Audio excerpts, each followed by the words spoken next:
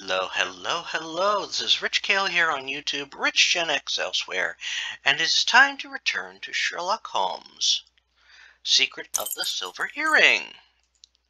Now, we have... I have to check three books on the shelves. Let's see. Mm, yes. Let's see here. So we have to get one.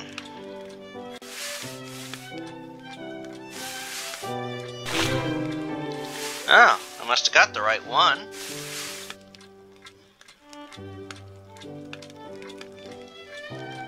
Alright, let's see what we got here. Ballistic science. Oh, we got a book on ballistic science. Let's see, add 15 centimeters to the height of the powder marks to arrive at the approximation of the shooter's stature, accurate to within 1 or 2 centimeters. Oh. Here is information which could be really helpful in our investigation. Okay. Oh, and I grabbed another book. Study of tobacco. Ah, with tobacco. Calming effect of the herb and tobacco made by the uh, Company. And it's found only in Brazil.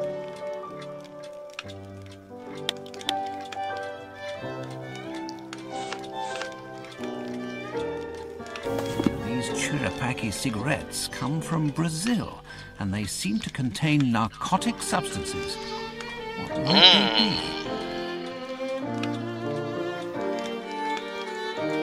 Alright, is there anything else? Let's see. Ah, one more item. Book about footprints.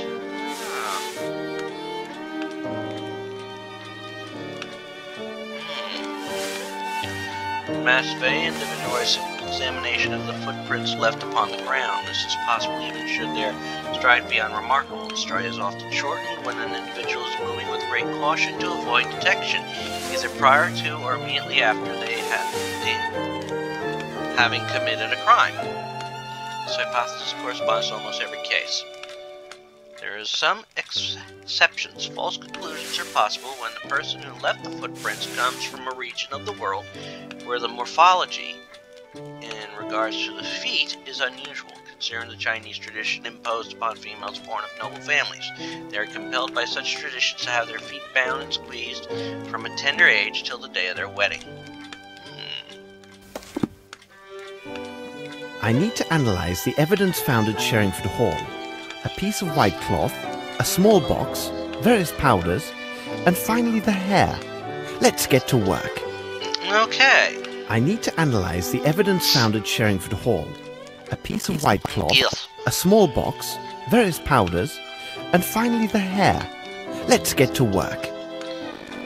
To analyze the nature of stains, I must first soak the cloth in a solution of soap and water.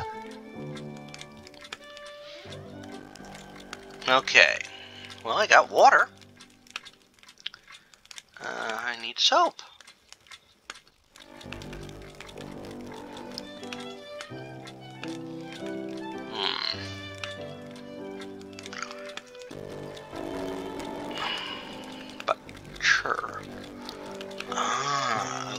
Let's see. Acid, spirit, spirit. No. Acid, no. So. Okay. Oh.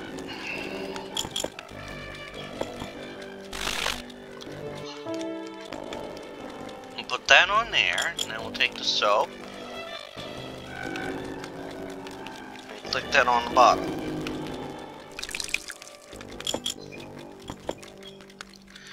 Alrighty.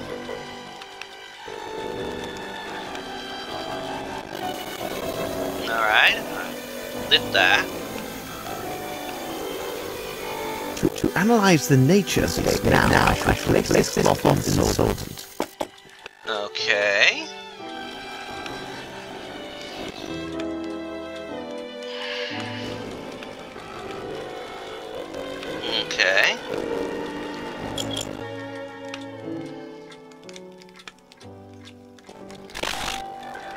Wait, wait, wait.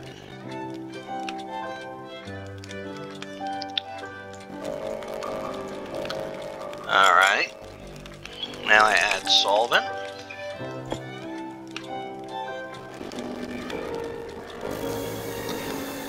Alright.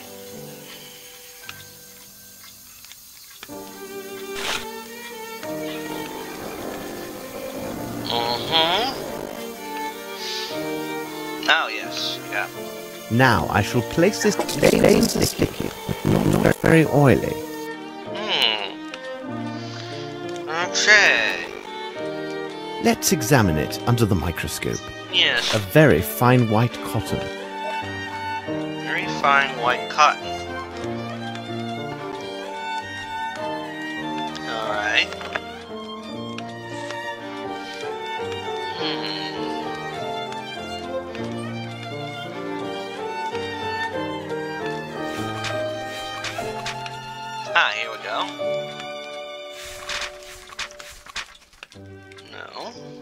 Not it. Okay, let's talk. Let's see.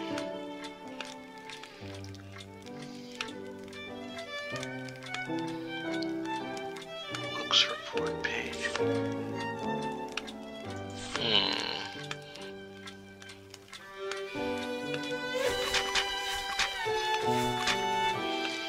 Hmm, what's this?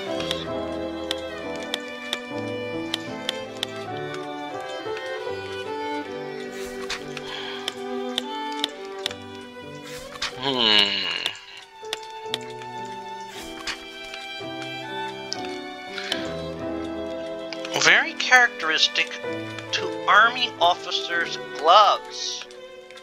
Interesting. Okay.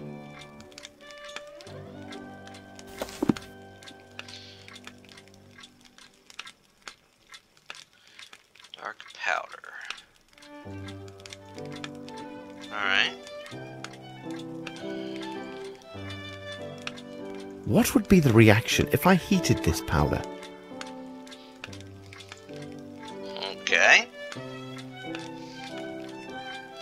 Burnt gunpowder. Mmm. Powder found in the corridor to the kitchen is no doubt gunpowder. Interesting. Alright. Let's take a look at the black hair. Let's examine it under the microscope. Yes. A man's hair.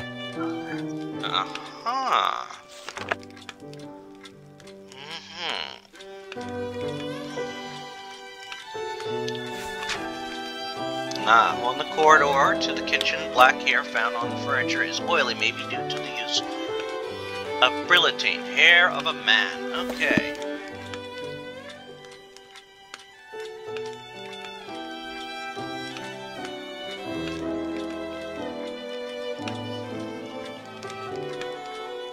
Small box with white powder.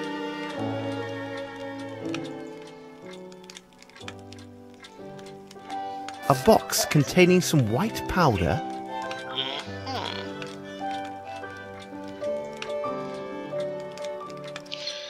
Alrighty. Let's examine it under the microscope. Let's examine it under the microscope. Let's examine. Let's examine it. These powders are similar. I can see it from the grains. Ah! So they're all the same. Okay.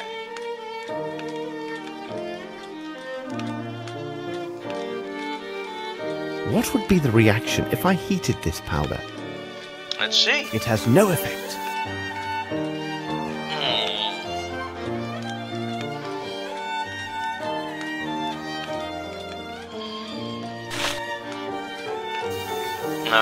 Let's mix some water with this powder. A glue or pasty substance, like starch. Starch. Alright. Let's see. Powders found here matches the powders found in the ladies' room and in the small box under the end table. Rice powder, very p- pulverant, resembling from the far gunpowder, but not offensive at all. Could it could have been used due to the quantity to conceal the presence of the gunpowder. Hmm. That's curious. Alright, we got Let's examine here. it under the microscope. A light feminine perfume. Hmm. It seems to me that we have gathered all of the key elements, Watson. However, before we retire, let's summarize our findings. The questions should be answered yes or no and justified by the evidence or testimony received during the investigation. Ah. Okay. Alright. Do we have an idea of the weapon used for the crime? Yes.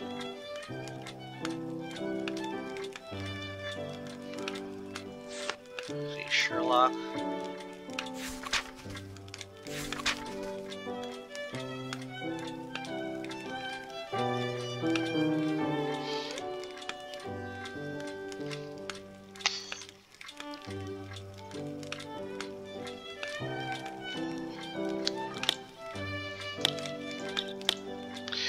Yes. Second time we spoke with Colonel Maz. Could the murderer escape through the stairs going to the second floor? No. The ashes found in the smoking room are from English cigarettes.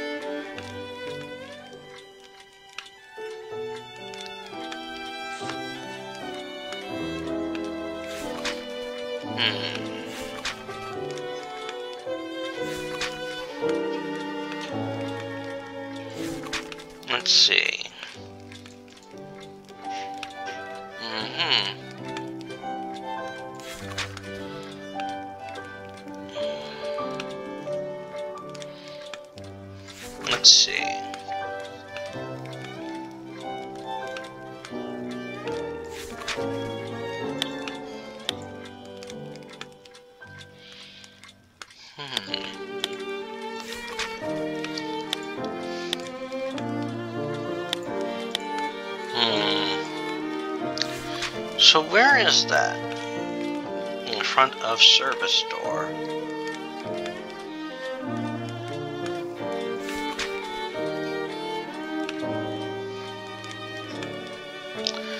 Ah, so we do have that cigarette butt.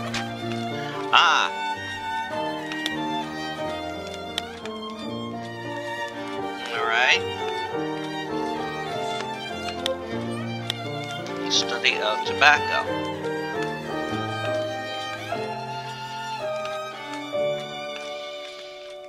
Alright.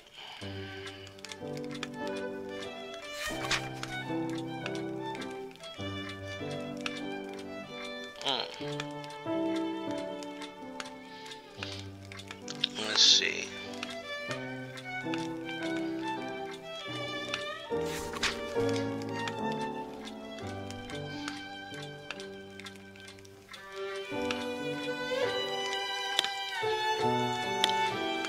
Okay.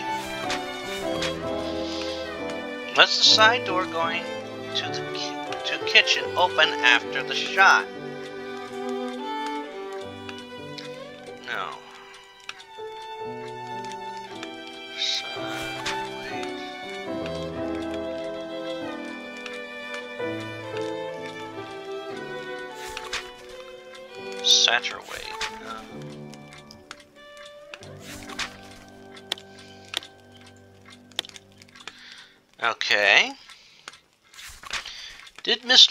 Choose tablecloth? Did Miss Lambert choose tablecloths and arrange tables? Well, that's an obvious no.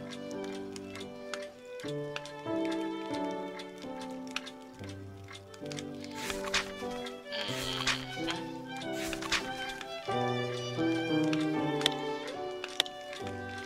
Miss Lambert.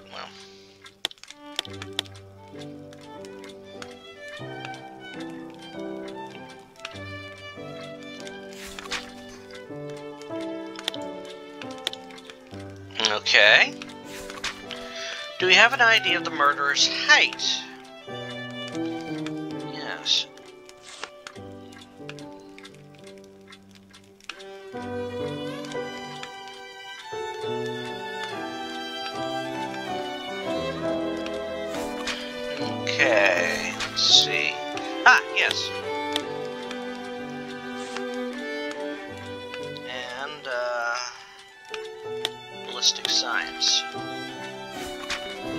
Among the interrogated people, did any other th others than Colonel Patterson have bad eyesight? Okay. Miss Lambert's dialogue and her guest list.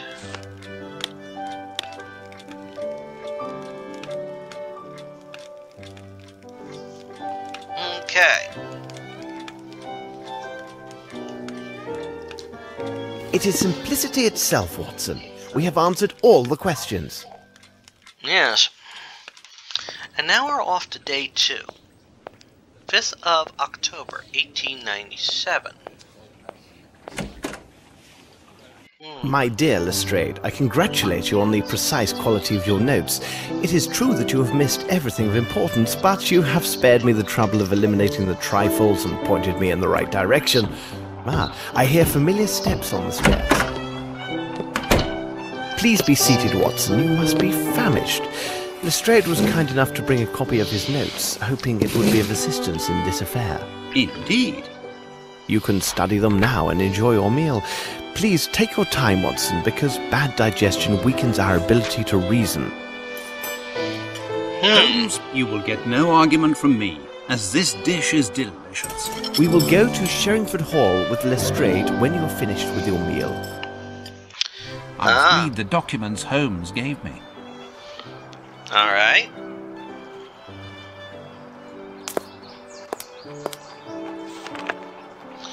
Alright, so let's see. Ah!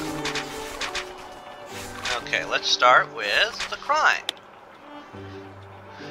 Alright, report on the investigation at Sherringford Hall, Inspector in charge Lestrade. For 11 o'clock in the evening, Sir Melvin Bromsby, engineer, architect, and contractor of renown, was slain by a single gunshot in his mansion, Sherringford Hall. The crime, the author of which is still undetermined, took place in the ballroom during the reception arranged by the victim in honor of his daughter's return to England. She spent uh, years at finishing school on the continent. Despite the presence of 100 witnesses, no precise testimony was obtained regarding the exact circumstances of this horrific act. Nevertheless, based upon certain evidences, there is a presumption of suspicion towards the daughter of the victim, Miss Liva Lavinia Bromsby. Instrument of crime. The bullet extracted from the corpse of the victim corresponds to the caliber of the revolver found in Miss Lavinia Bromsby's purse. This purse found on the floor was near the door from which Miss Lavinia Bromsby first appeared after the mortal, mortal shot was fired. All the witnesses agree that the sound of the shot originated at or near this very same doorway. The revolver is an old small bore, right, which is also a highly reliable weapon. Alright. Difficult angle. The shot was mortal. Miss Lavinia claims that the victim personally gave her this revolver before the crime for the purpose of her protection against an unnamed threat. This account can be supported by the fact that these mouths are impossible to find on the continent where Miss Lavinia had spent these last years. Premeditation can be excluded if she is found to be the murderer.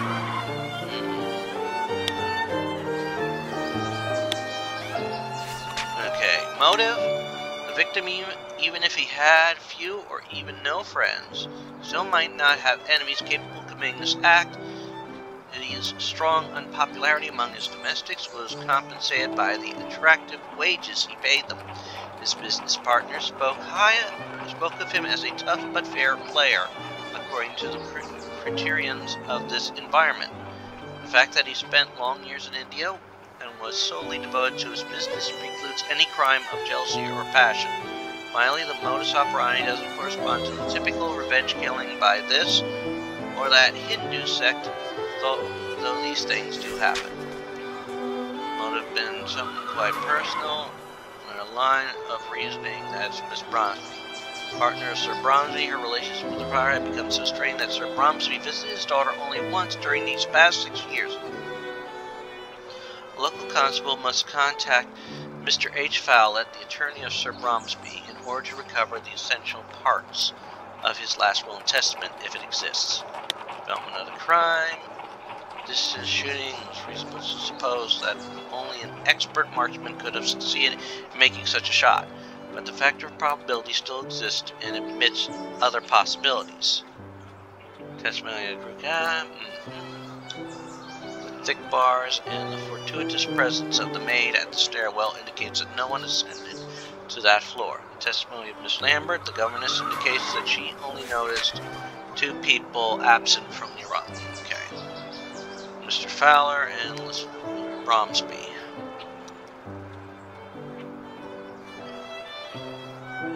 It was delayed until today. Scotland Yard report. General information about the man called Sir Melvin Bromsby. No official involvement as defendant in any criminal civil matters. No appearance as a witness in a criminal or civil law case. Complainant as to a robbery committed at a fair stand in St. Bartholomew on July 1861. Judgment of the court was favorable for the crown. Melvin Bromsby, dear Sherlock. Melvin Bromsby. Salinger Company, so he sued, sent to India to assist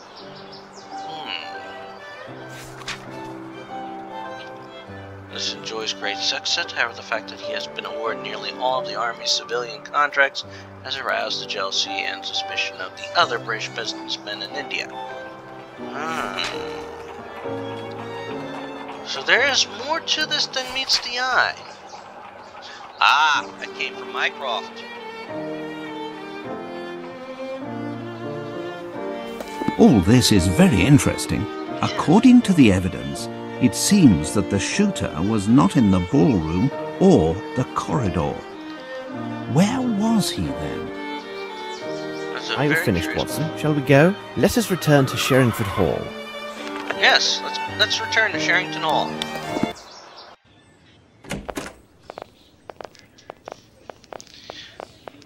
Hmm.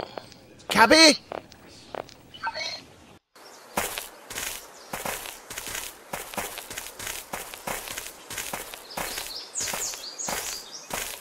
Miss Lambert stairs, hovering in the air. Okay, looks right now. Sirs, please, go right in. Right. Please wait here, gentlemen. I will see if Miss Lavinia is receiving callers. She's in her room. Okay, and here's Mr. Uh, Mr. Granby. Dr. Grimble. Well, Mr. Grimble, I didn't expect to see you here at this hour.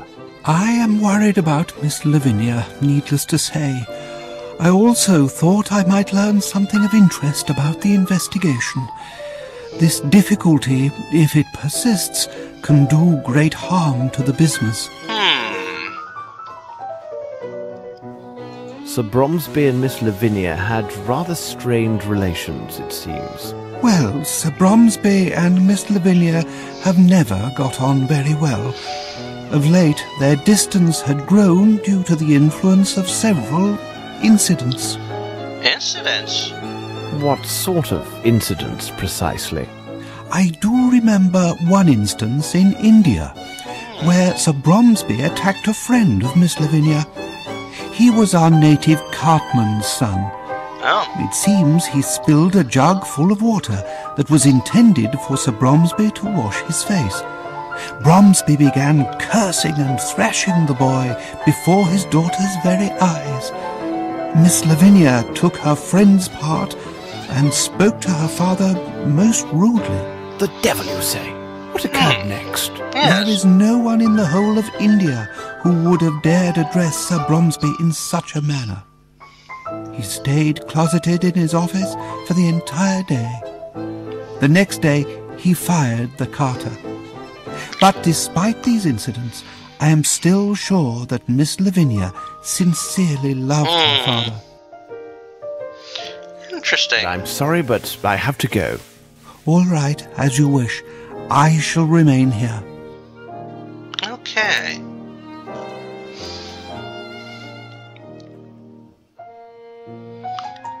I Let's have see. to leave you, sirs. I need to verify certain things.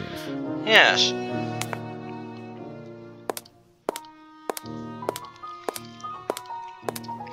There's something more going on. I can sense it. The more we consider the facts of this affair, the more mysterious it becomes. The important thing is to be precise and rigorous in your analysis. But at Scotland Yard, we know this well. Reminds me a bit of bad business I resolved. I believe it involved a theft of sticks from a polo team. I have myself engaged in this sport but a few years ago. Really? Do you enjoy the sport of polo, Mr. Grimble? Uh, oh, uh, no. You cannot imagine the benefits of this sport. To achieve perfect form and union, man with horse. A little like the waltz, eh? Exactly. Except that with this sport, mounting is at full speed, which complicates things singularly. I don't follow you. The team from Brixton, in my opinion, is the finest example of how polo should be played. Perhaps they may well be. But what would you say about that last match of the Old Ghost Rangers? They were absolutely splendid. But what of the Brixton team? Weren't they the cause of some ruckus about a matter of corruption? Well, uh, I believe they're, uh, says- let's see, is this the kitchen here? Ah, yes, good, good, good.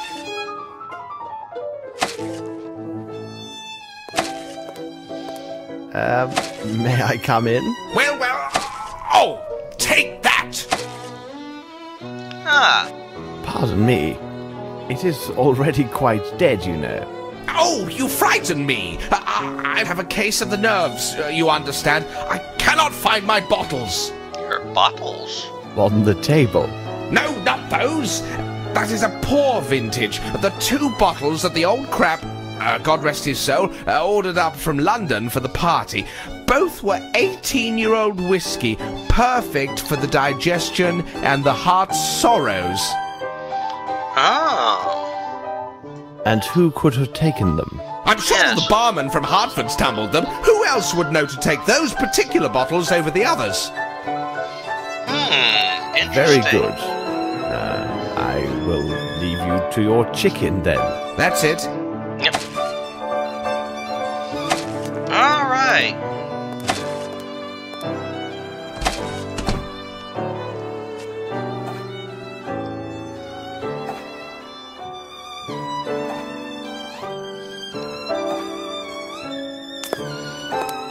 Mm-hmm. Now that's the door out. The door out.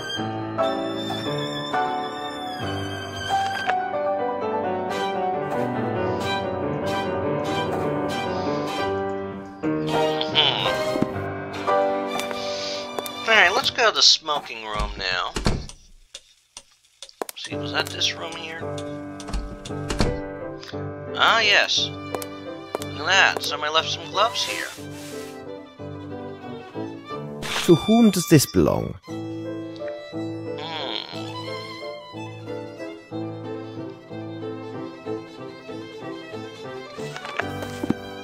Alright.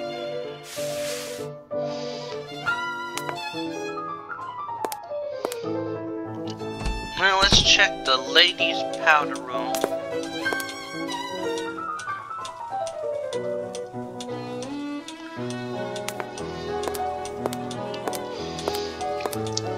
Really tell how early this game was made.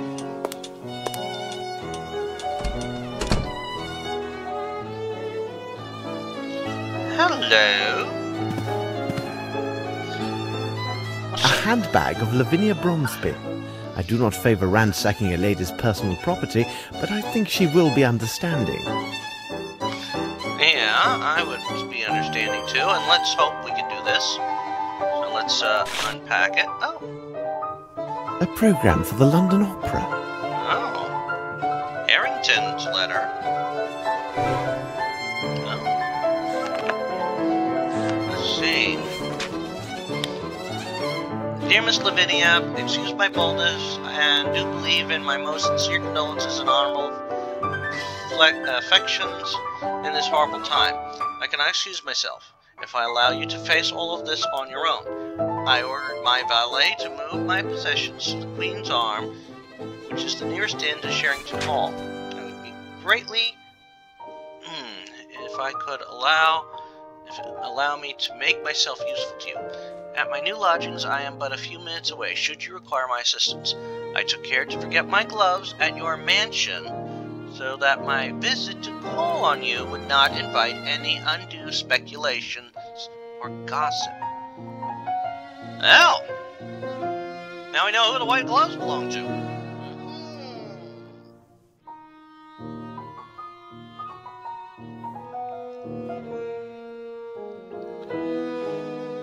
And at this point, we're going to uh, save the game, and uh, we will continue this adventure the next time round. As always, this is Rich Cale here on YouTube, Rich Gen X Elsewhere, inviting you to subscribe to the channel and check out some of the other playthroughs I've done. I have played through the all the, at the time of recording, all the prior games released that are chronologically before this. Uh, that includes uh, Sherlock Holmes vs. Jack the Ripper, Sherlock Holmes The Awakened, Sherlock Holmes Crimes and Punishments, and Sherlock Holmes Nemesis or Sherlock Holmes vs. versus Arsene Lupin. I plan to, once Sherlock Holmes Chapter 1 comes out, if it hasn't come out by the time this this video goes up, I plan to get that one and play it as well. Now I'm also working my way through other games. I am working my way through Alien vs. Predator, the 2010 release, currently on the Alien campaign. I am also working my way through the Henry Stickmin collection. Uh, working my way through The Witness, a very nice, calm, and quiet game. I am working my way through uh, the Zork franchise in a chronological order, so I'm tackling Zork Zero first. I am working my way through Gibbous, a Cthulhu adventure. Very fun game and has a snarky cat on it in it. I am also working my way through the Monkey Island franchise. In fact, I am on Tales of Monkey Island, last game in that franchise. And I think I'm coming close to ending the second chapter of that game. I am working my way also uh, through Call of Cthulhu, having just finished not too long ago Call of Cthulhu Dark Corners of the Earth. And there are other things you may want to check out on the channel. And if you've watched this again, thank you. Uh, please give the video a like and uh, subscribe to the channel so you can keep up with what might be coming out. Have a good one all, and goodbye.